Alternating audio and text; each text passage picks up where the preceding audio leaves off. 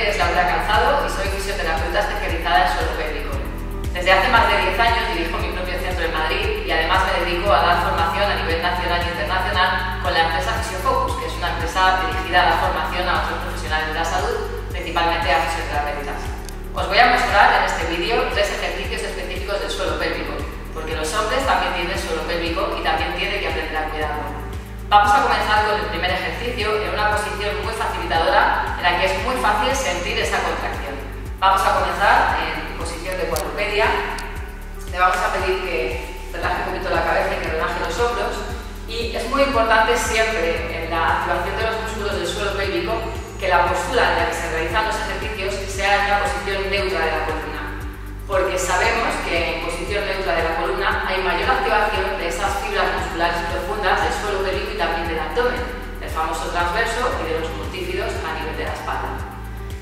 vamos a pedir a Bel que haga una contracción del suelo pélvico, le vamos a pedir que se, imagine que, se imagine que está cortando el pipí, que cierra un poquito el ano y le vamos a pedir que aguante esta contracción durante 4 segundos. Vamos a mantener la autolocación para mantener la curvatura en posición neutra. Ahora le vamos a pedir que relaje 4 segundos. De nuevo va a cortar el pipí, va a cerrar el ano. Aguantamos 4 segundos. Descansa 4 segundos. Y así, este ejercicio lo podríamos repetir 4, 5, hasta 10 veces. Normalmente siempre los fisioterapeutas hacemos una, una previa valoración para saber cuánto, cuántas repeticiones y cuántas series tiene que hacer de este ejercicio. Además de la contracción lenta de los músculos del suelo pélvico, se pueden realizar contracciones rápidas. Sería el mismo ejercicio, nada más que en lugar de mantener la contracción, le vamos a pedir que haga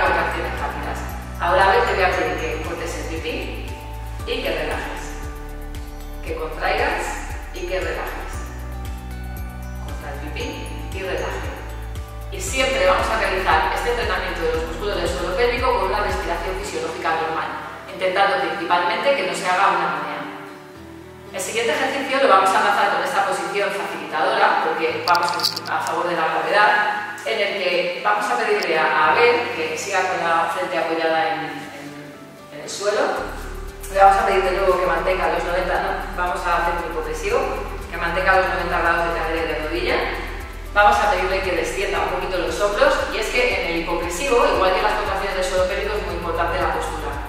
Primero le vamos a pedir una autolocación para mantener toda la columna en posición neutra. De nuevo, como os decía antes, para que haya una correcta activación de los suelo pélvico y del transverso y también de los multífidos. Toda esa musculatura estabilizadora. Le vamos a pedir a Abel que haga tres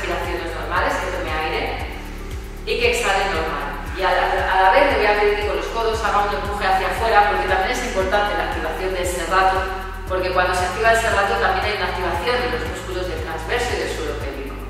De nuevo Abel vas a tomar aire, sueltas la y ahora Después de la tercera exhalación, inspira, exhala largo, largo, largo, largo, largo y al finalizar la tercera exhalación le vamos a pedir a que haga una apnea, que abra costillas y que mantenga. Abre, abre 5 segundos, 4, 3, mantenga neutra, 2 y ahora inspira, exhala y relaja. Podríamos realizar otras tres repeticiones. Y el tercer ejercicio, que sería específico para trabajar el suelo pélvico, es una plancha una plancha normal, lo que pasa es que le vamos a pedir que igual lo mantenga con la columna en posición neutra. Los codos debajo de los hombros. Vamos a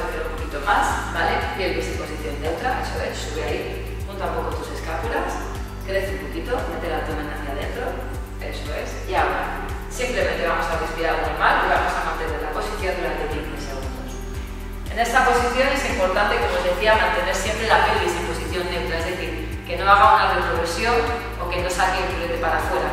Es importante siempre mantener la pelvis neutra para que haya una correcta activación de los músculos del suelo pélvico, que muchas veces se lesionan en deportes como por ejemplo el ciclismo. Respira normal, aguanta 10 segundos, ya puedes bajar y relaja atrás. Bueno, pues hasta aquí estos tres ejercicios, espero que os sirvan de ayuda